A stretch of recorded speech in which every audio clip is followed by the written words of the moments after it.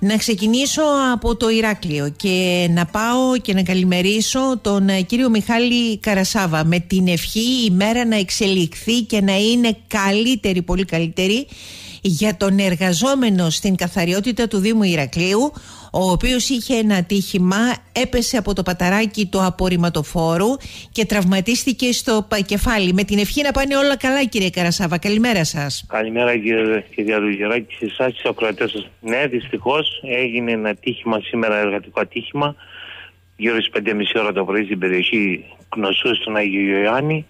Ε, ο εργαζόμενος έφυγε από το παταράκι και χτύπησε πίσω στο κεφάλι. Είναι στο χειρουργείο τώρα, στην, στο χειρουργείο και περιμένουμε νέα. Ε, δεν μπορούμε αυτή τη στιγμή να εκτιμήσουμε την κατάσταση της υγείας τους. Περιμένουμε όμως ακριβώς ώρα με την ώρα να μας ενημερώσουν γιατί Κύριε Καρασάβα, Έχει ναι, ναι. πίσω στο, στο κεφάλι, κεφάλι ναι. έχει ένα μάτωμα από ό,τι μας είπε στην πρώτη εκτίμηση γιατί ε, πήγαμε πάρα πολύ γρήγορα και το ασθενοφόρο. Τυχώς το ασθενοφόρο ήταν σε 10 λεπτά. Μπορώ να σας πω σε 10 λεπτά ήταν και στο νοσοκομείο. Πάρα πολύ γρήγορα γίνανε.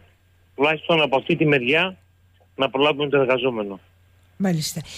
ήταν εν κινήσει το ασθενοφόρο, δηλαδή ναι, πήγαινε... Ναι, το απορριμματοφόρο ήταν εν κινήσει, ναι. Μάλιστα.